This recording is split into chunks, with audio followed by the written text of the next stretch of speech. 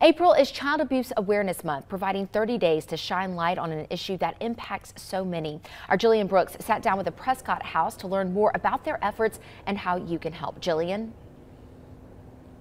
Claire, the Prescott House has been a safe place for child children who have experienced trauma to tell their stories in a safe place. Now, it has changed the way that these cases are looked at and sets those kids up for a brighter future.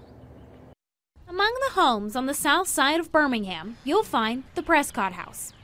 People understand that child abuse exists. What we have a hard time accepting is that child abuse exists in our neighborhoods, in our communities, in our families. Children tell their stories to a trained counselor while members of law enforcement, the DA, and the Department of Human Services watch from a different room. That way, the child only has to tell that painful story once. Then they are offered counseling services specifically aimed at their age.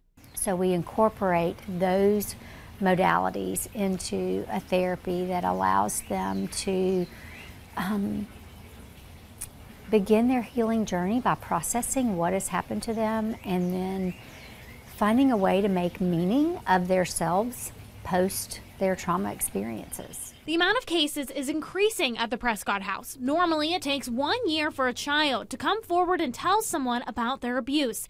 Many of those reports coming from schools.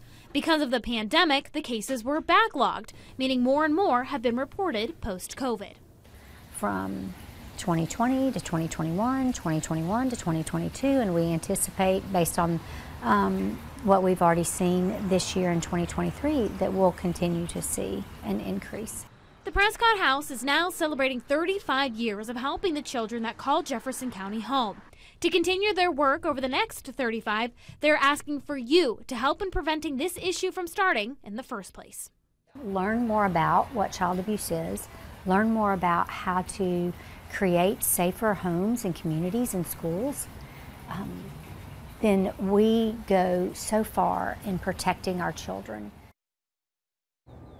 Now, the Prescott House is celebrating its 35 year anniversary milestone with event at the Grand Bohemian next Tuesday. It's open to the public, so if you're interested in attending, we have information on how you can purchase your tickets right now on the WBRC News app. Reporting live in Birmingham, I'm Jillian Brooks, WBRC Fox 6 News on your side.